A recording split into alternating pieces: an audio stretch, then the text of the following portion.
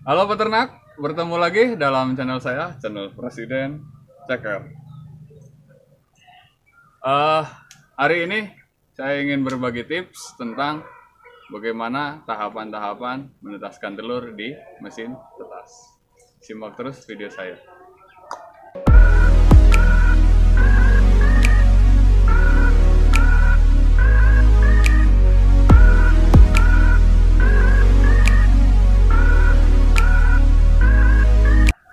Oke teman-teman, karena banyaknya komentar-komentar di YouTube saya yang bertanya tentang bagaimana cara menetaskan telur, saya akan sedikit membahas tentang tahapan bagaimana cara menetaskan telur. Supaya telur kita jangan sampai gagal menetas. Oke ya, untuk tahap yang pertama yaitu adalah pemilihan telur di mana teman-teman wajib memilih telur yang bobotnya minimal itu 40 gram. Kenapa? Supaya DOC-nya bagus, bobotnya besar dan bisa berkualitas. Sepengalaman saya, ketika teman-teman menetaskan telur di bawah 40 gram itu tidak bagus ketika teman-teman mau menjadikan ayam ini sebagai ayam indukan ataupun pedaging karena dua bulan itu tidak bisa dipanen. Sedikit informasi buat teman-teman sekalian, kalau teman-teman ingin tahu kira-kira berapa bobot DOC yang akan menetas, itu teman-teman tinggal timbang saja telurnya. Nah, tinggal dikurangi dengan 10 gram karena rata-rata bobot cangkang telur itu 10 gram. Jadi, misalkan teman-teman menetaskan bobot telurnya itu 45 gram. Maka rata-rata nanti ketika DOC nya baru menetas teman-teman timbang itu bisa 35 gram. Tahap yang kedua yaitu pembersihan telur. Di sini teman-teman diharuskan untuk membersihkan telur sekaligus memilah. Apakah telur itu bagus dari sisi kulit luarnya tidak ada kotoran yang menempel, tidak total-total seperti panuan dan lain sebagainya. Ketika ada kotoran yang menempel, maka wajib hukumnya untuk dibersihkan. Namun, apabila terdapat bintik-bintik seperti panu, itu saya sarankan tidak untuk ditetaskan.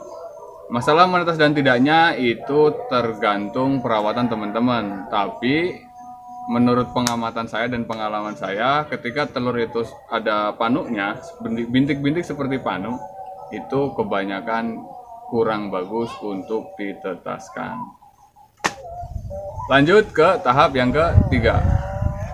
Di tahap ini teman-teman saya sarankan untuk melakukan penulisan. Penulisan apa? penulisan tanggal memasukkan dan tanggal untuk perkiraan menetas Tanggal penulisan itu pada hari di mana telur itu dimasukkan ke mesin tetas.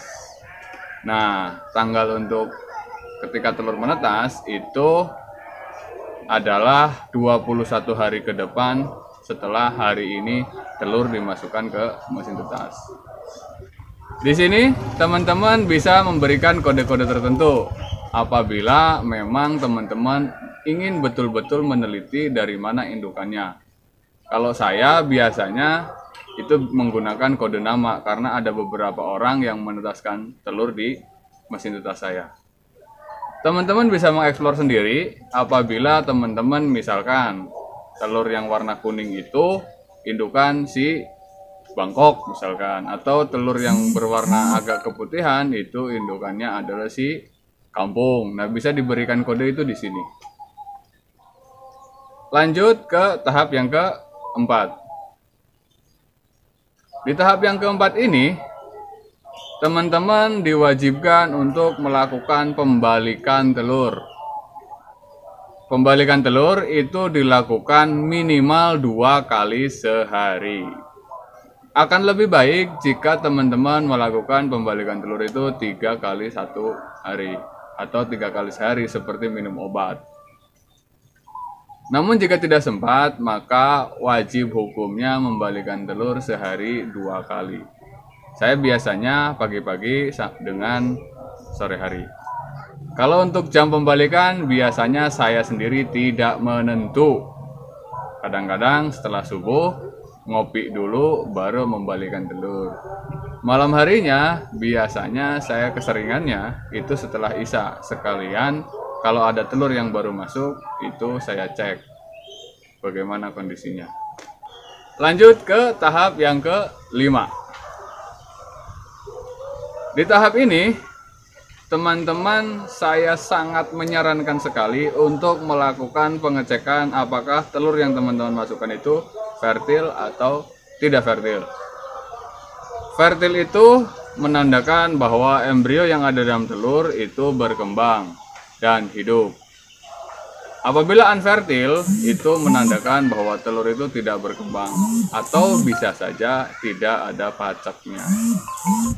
Untuk lebih jelasnya tentang pengecekan telur fertil dan tidak fertil ada di video saya yang di atas sini nih. Jika telur yang fertil itu bisa dilihat dari e, peneropongan. Peneropongannya menggunakan cahaya lampu. Biasanya saya melakukannya malam hari. Sangat jelas sekali. Kalau misalkan telur itu fertil, maka akan ada bentuk seperti jaring laba-laba di dalam telur. Itu adalah sel jaringan embrio. Jika tidak fertil, telur itu tidak ada jaringan seperti jaring laba-laba tadi. Maka bisa dipastikan ketika usia tiga hari belum ada jaringan embrio itu telur tersebut tidak akan menetas. Di sini saya sarankan untuk melakukan pengetesan itu di usia tiga hari setelah masuk mesin tetas ataupun lima hari. Tiga hari itu terkadang ada yang baru titik saja. Nah, ketika lima hari itu sudah sangat jelas tapi saya sering melakukannya di usia tiga hari. Di sini pun keseringannya itu sudah terlihat jelas bentuk jaringan embrionya. Lanjut ke tahapan yang ketujuh. Di tahapan ini teman-teman saya sarankan juga ketika usia 19 hari itu untuk melakukan pengecekan mesin tetas. Pengecekan dari mulai suhunya dan lain sebagainya ya sekaligus mengecek apakah telur itu sudah ada yang retak atau belum. Di usia 19 hari rata-rata telur sudah mulai ada yang pecah. Satu dua itu sudah mulai pecah. Dan apabila yang belum pecah teman-teman juga bisa melakukan teropong lagi. Ketika telur yang embrionya berkembang normal dan akan menetas itu akan termuncul atau terlihat akan ada gerakan-gerakan di dalam telur. Ya di usia ini bisa teman-teman pisahkan mana yang menurut prediksi teman-teman akan menetas dan mana yang tidak akan menetas. Tahap yang terakhir itu adalah panen DOC. Panen DOC ketika telur baru menetas itu maksimal dua hari disimpan dalam mesin tetas. Minimalnya saya sering itu satu hari karena kalau masih di bawah usia satu hari atau 24 jam itu DOC-nya itu masih lemah. Berbeda ketika sudah lebih daripada satu hari, DOC akan sudah bisa berjalan, bulunya pun sudah mulai kering. Kenapa maksimal dua hari? Karena DOC itu masih menyimpan cadangan makanan dari dalam telurnya maka ketika lebih dari lima hari dia akan mulai kekurangan asupan makanan untuk tubuhnya. Saran saya dua hari ya. Nah bagaimana jika lebih dari dua hari? Lebih dari dua hari itu resiko ditanggung sendiri. Nah itulah tadi tahapan-tahapan untuk menetaskan telur di mesin tetas.